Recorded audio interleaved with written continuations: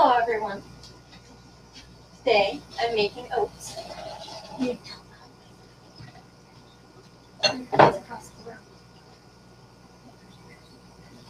Today I'm making oats for my new worm cultures that are coming today. So first I'm boiling the water. Trying not to get my face in the camera, but it'll happen anyways. So first I boiled the water and then I put some uh, quick oats in there. I normally use mashed potatoes, instant mashed potatoes, but I thought I'd try quick oats for once. So while that is making, I'm going to show. So yesterday we ran out and got um, some large entree containers. My sister's here uh, but some large entree containers, and I got three of them because I'm getting. I already have microworms, but I'm doing microworms, Walter worms, and banana worms. So I just put MW for microworms, WW for Walter worms, and then BW for uh, banana worms. I already have two microworm containers, but so those are the three that are coming today, and then also I have vinegar eels coming today. This is a Hawaiian punch container, and um, I was going to use just like a half gallon juice container, but this one they have a little grip on the back, and it also has a handle on the top, so it'd be easier to hold. And I already took the label off and cleaned it. So while the oats are making themselves, we're gonna do vinegar eels first. So I have, um, this is a quarter of a gallon of apple cider vinegar. I'm just gonna put it like right, right into the container.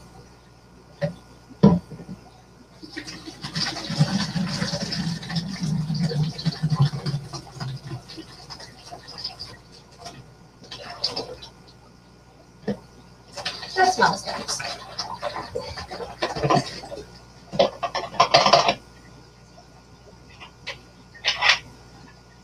I'm gonna add a little bit from this container, not all of it. And our store near us only sells them in quarter of a gallons, so I couldn't get like a whole gallon at a time.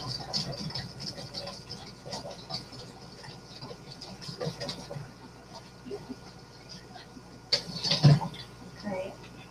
About half of that I put in there. and you want to fill it about halfway, which you say is about halfway. And then I'm going to put like cool water in there. So now, this is what I'll put the vinegar eels in. It's a two ounce starter culture, so I'll just pour them in, and there'll be some room at the top. And then you just take a paper towel or a coffee filter and put it over like this, and then rubber band it. Um, I'll have to like double it and then rubber band it because it's a smaller spout than uh, some people use mason jars. Um, and then there's also jars that have a more narrower neck to where it's like longer, almost like a base. And people stuff like polyfill in there. I've seen that. Um, but when this evaporates, you fill it up with regular water. And I've seen people go six months in a mason jar without refreshing it. And it's been perfectly fine. But at six months, you want to be very careful that you don't crash your culture. But yeah, this will be, that's the water that they live in. I'm going to take an apple that's gotten beat up a little bit.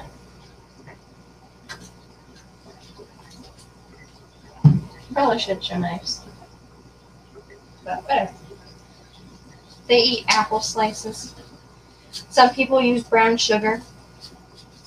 I don't know if brown sugar is cheaper than apples, but with brown sugar, you have to feed that every day. With apples or pears or some sort of fruit, they can go a little bit longer without having to feed them. You don't have to feed them as much.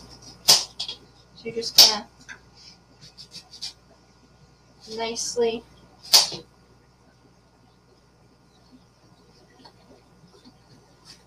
cut up the apple.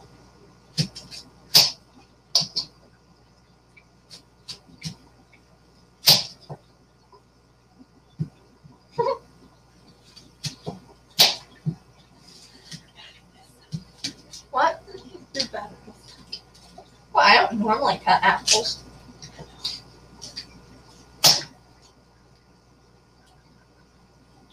That's so pretty. Anyways, try not to make this video too long. The vinegar eels will pretty much cut any, will eat anything, so just has to be small enough to where you can get it in the container.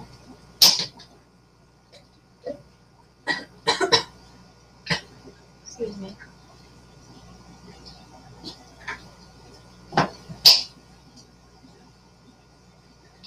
So yeah, I'm just gonna put a whole apple.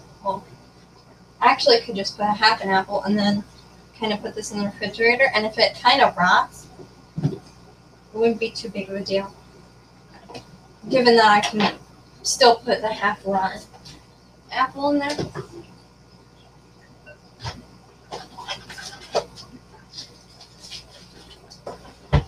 Because the vinegar eels won't care. They'll just eat anything.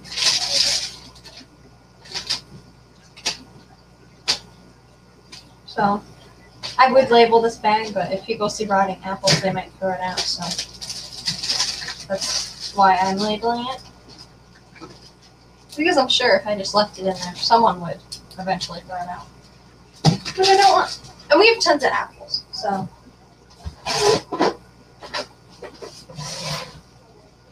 It's almost like we have like 20 apples, so one won't hurt.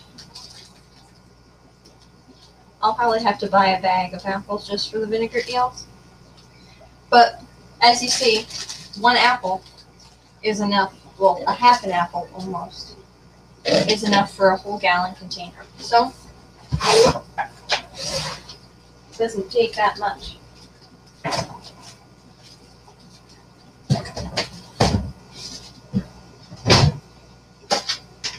So yeah, this will be the container. I'll have to grab a rubber band from somewhere, but I'll just put this on there like that.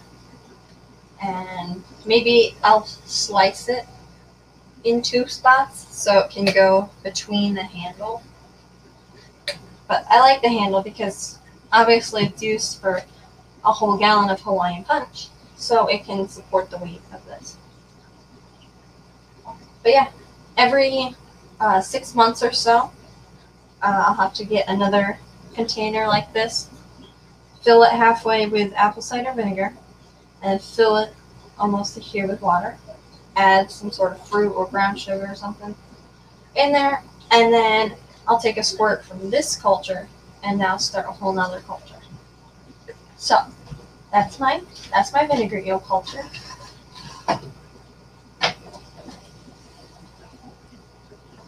And the oats should be cool very soon. If I have, I'll do another video setting up this culture. This is gonna be my white worm culture.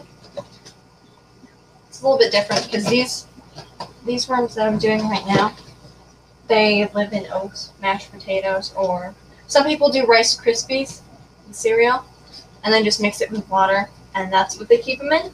And that supposedly is doesn't have as bad as an odor, but who knows? But I'm using oats. I normally use mashed potatoes. So, and then these live in vinegar. It takes a lot to kill these.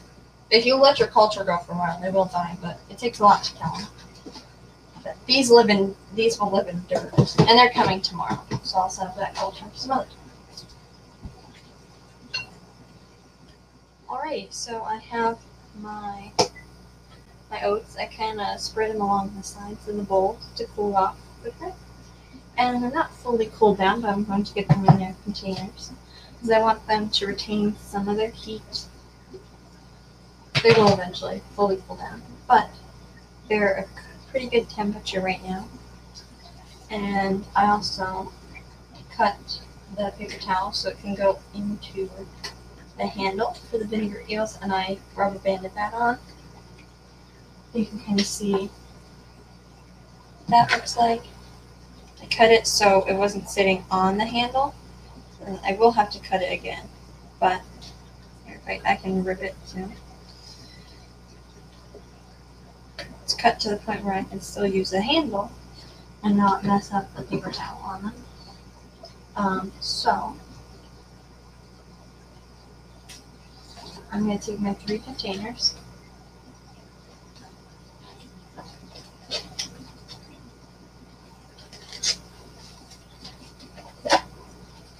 Banana worms.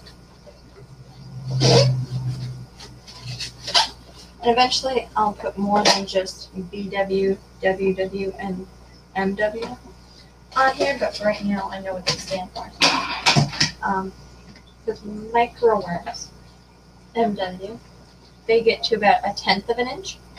And then Walter worms and banana worms both get, they're pretty much the same thing. And they both get a sixteenth of an inch.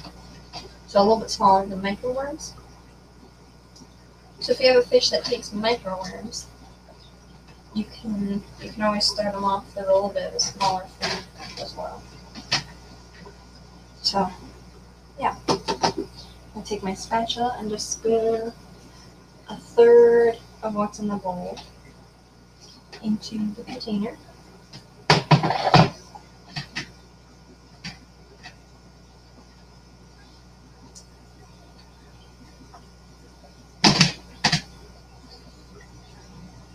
It's a pretty good amount of oats, and um, it was two cups of oats that we made for these three.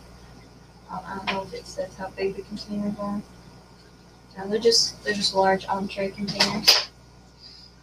But we made two cups of regular quick oats to go in these containers.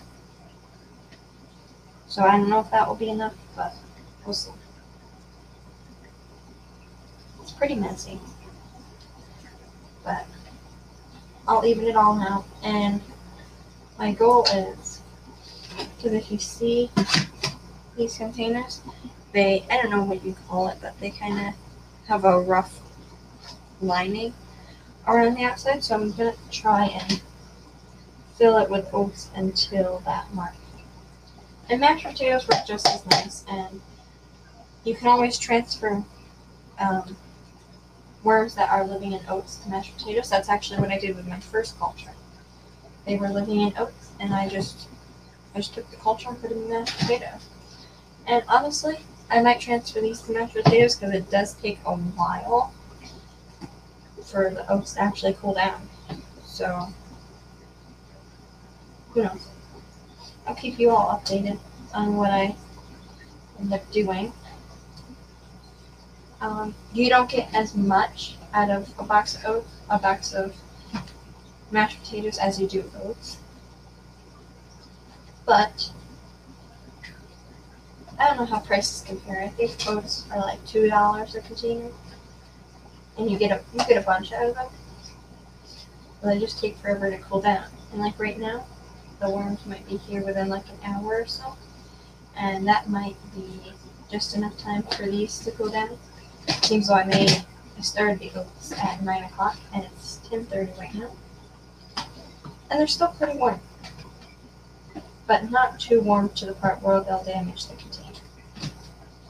So I'm just putting them in and then straightening them out. So they're all even, and for those of you who don't know, you don't feed microworms. They can put yeast in there. I find that they just feed off of the bacteria that the uh, oats or the medium grows. And that's why I chose this tall but kind of long container because the place I'm putting them in is actually right next to my 10 gallon rack, actually on my 10 gallon rack, next to the 10 gallon sinks. And it's a bit longer. And I also like tall because the worms climb up and then you scoop them off the side to harvest them. So I find that taller containers are always better. Something like this nice and tall, but it's not all that big, so that's why I didn't use some other containers. And clear containers are better. I do have one microworm culture that is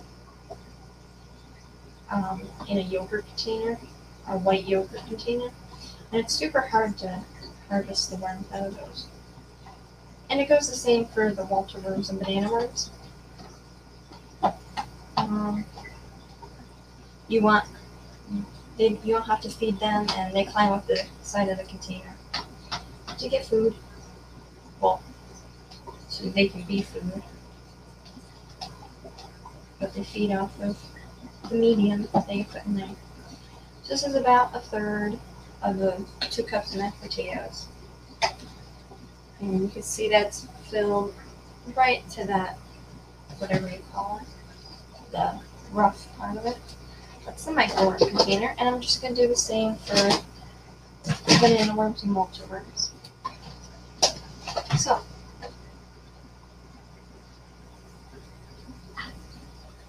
Which ones?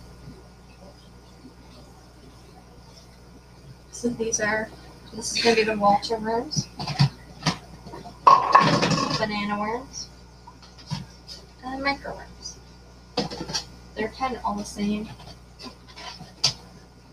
I did the same thing with centipede. So now I'm gonna take the lids, wash my hands. with it.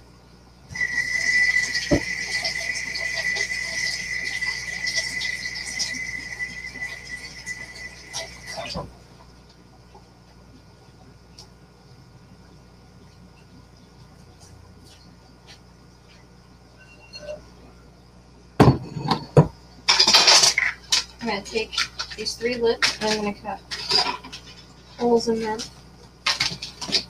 with a box cutter.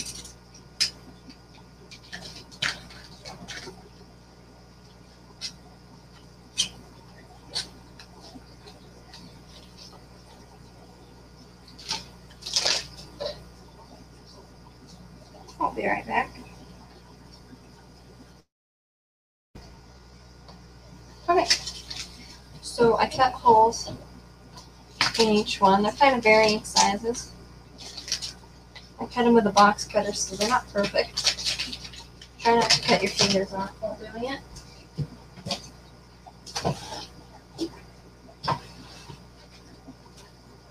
Now I'm going to take a paper towel, uh, scissors, and some tape. I'm just using clear packaging tape. You don't need much of whatever you're using. These three containers won't use any more than a paper towel.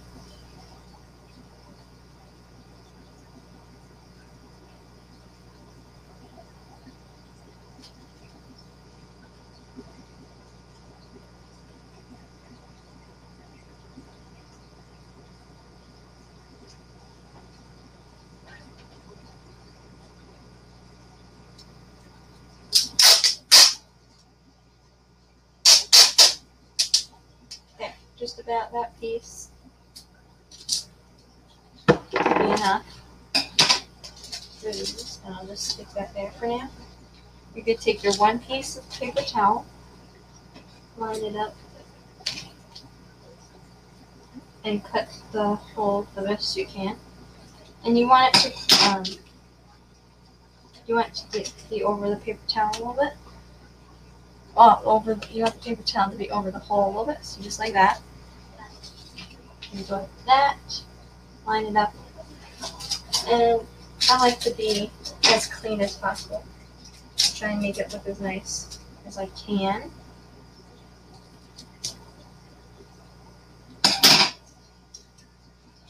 So use a small piece for each side, and this just gives aeration. It's the most important thing.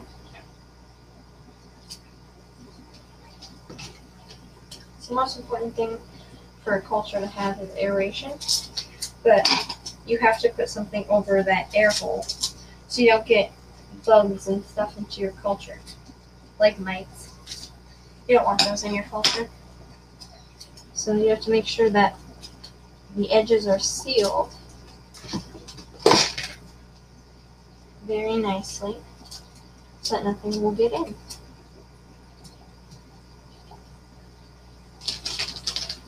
Like that.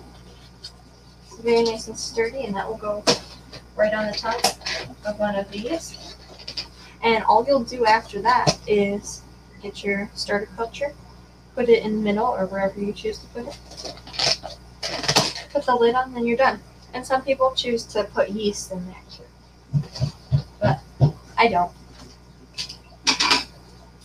And you don't even need a whole paper towel to do this. Some people reset their cultures every month. Uh, the microworms.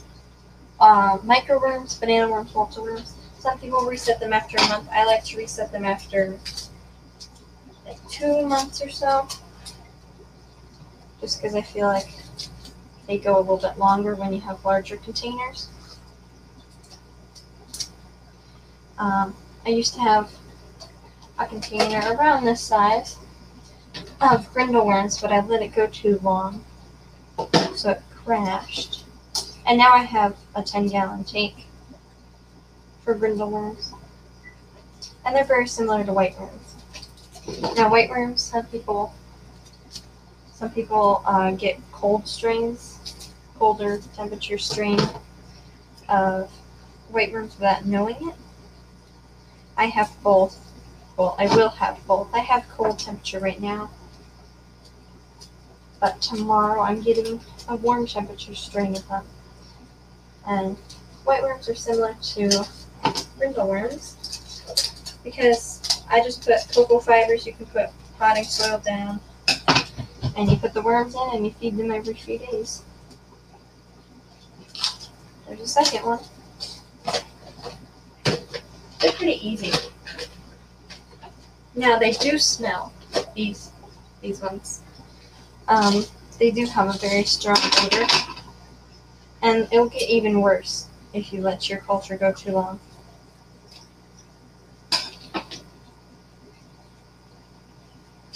So make sure not to do that.